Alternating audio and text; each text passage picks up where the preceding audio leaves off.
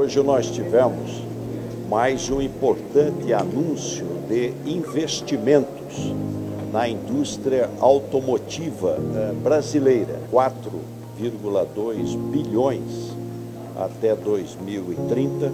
Junto com o presidente Lula, vice-presidente Geraldo Alckmin, anunciamos um investimento, um segundo ciclo de investimento na nossa fábrica de Itirapina, focados em novas tecnologias incluindo aí mais um modelo totalmente novo para o mercado brasileiro e também investimento forte em híbrido flex. Esse é o tamanho da nossa confiança no Brasil. Empregos diretos, 1.700 empregos e 3.500 na cadeia de fornecedores. Com esse investimento da Honda, nós nos aproximamos de 130 bilhões já confirmados só na indústria automotiva.